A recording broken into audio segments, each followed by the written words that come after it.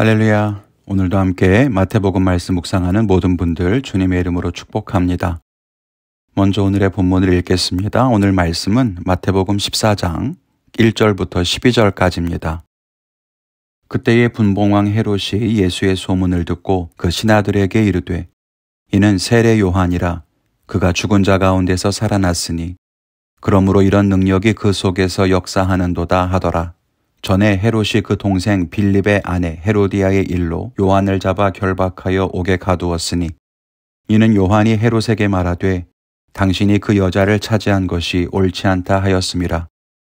헤롯이 요한을 죽이려 하되 무리가 그를 선지자로 여김으로 그들을 두려워하더니 마침 헤롯의 생일이 되어 헤로디아의 딸이 연석 가운데서 춤을 추어 헤롯을 기쁘게 하니 헤롯이 맹세로 그에게 무엇이든지 달라는 대로 주겠다고 약속하거늘 그가 제 어머니의 시킴을 듣고 이르되 세례 요한의 머리를 소반에 얹어 여기서 내게 주소서 하니 왕이 근심하나 자기가 맹세한 것과 그 함께 앉은 사람들 때문에 주라 명하고 사람을 보내어 옥에서 요한의 목을 베어 그 머리를 소반에 얹어서 그 소녀에게 주니 그가 자기 어머니에게로 가져가니라.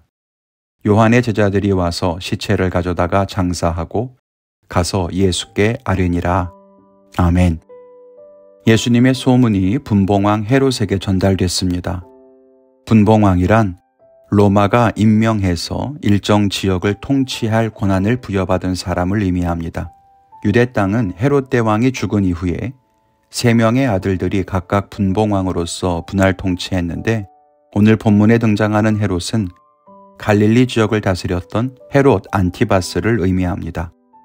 그런데 헤롯에게 예수님이 기적을 일으키고 하나님 나라를 선포한다는 소식이 들려옵니다.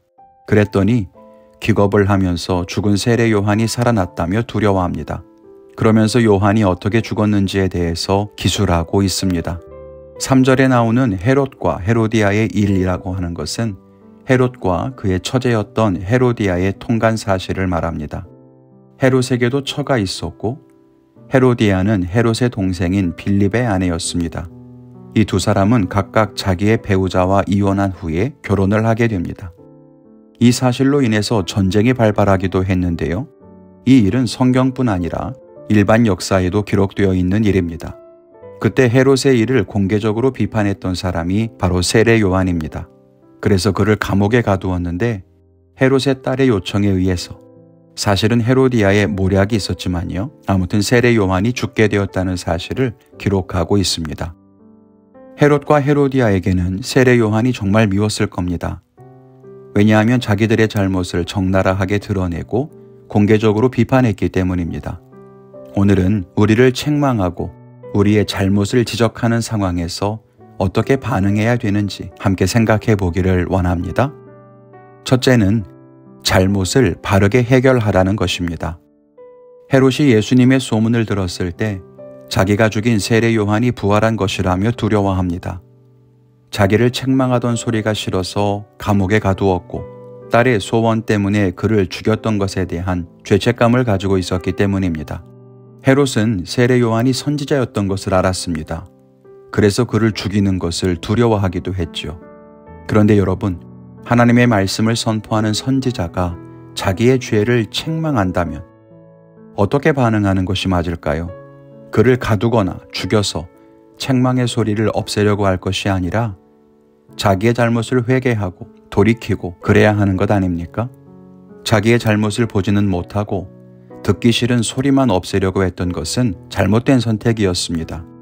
그랬더니 책망하는 소리는 사라진 것 같았지만 예수님의 소문을 들으니 다시 자기 안에 있던 죄책감이 고개를 들고 자기를 괴롭힙니다.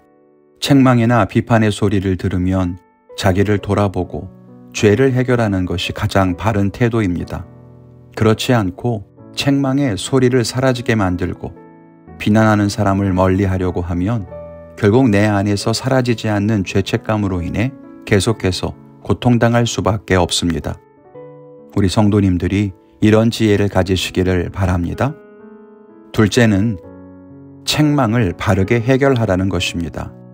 자기 안에 있는 죄책감을 해결하기 위해 죄를 바르게 해결하는 것이 내면적인 태도라고 한다면 우리의 바깥으로는 책망에 대한 공격과 분노를 벌여야 합니다. 이것은 외면적인 태도입니다. 헤롯은 책망을 듣기 싫어서 요한을 옥에 가둡니다. 헤로디아는 좋은 구실을 만들어서 세례 요한을 죽이도록 자기의 딸을 부추깁니다. 모략과 음모를 꾸미는 거죠. 헤로디아의 딸은 요한을 죽이도록 부탁했고 헤롯은 그것이 두려운 일이고 잘못된 일이라고 생각했음에도 결국 요한을 죽이게 명령합니다. 이러한 공격과 분노는 책망에 대한 바른 태도가 아닙니다. 오히려 우리는 우리를 비난하는 사람의 이야기에 귀를 기울여야 합니다. 정말 내게 잘못이 없는지 돌아봐야 합니다.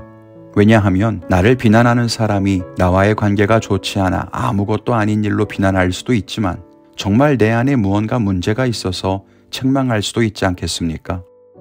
그런데 우리는 일단 비난하는 소리를 듣고 싶어 하지 않죠. 사람이니까요.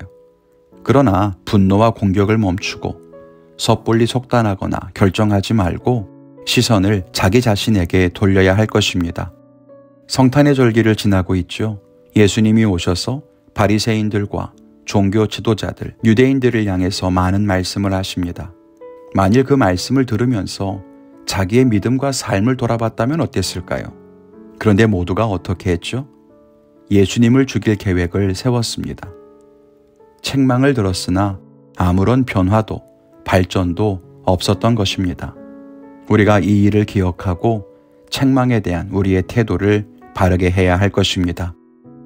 오늘 저는 저를 향한 비난의 소리를 곱씹어 보면서 자기를 성찰하는 하루를 보내겠다고 다짐합니다. 여러분들은 어떤 결단을 가지셨습니까? 그 결단대로 살아갈 수 있는 귀한 하루가 되기를 바랍니다. 주님과 함께 승리하십시오. 감사합니다.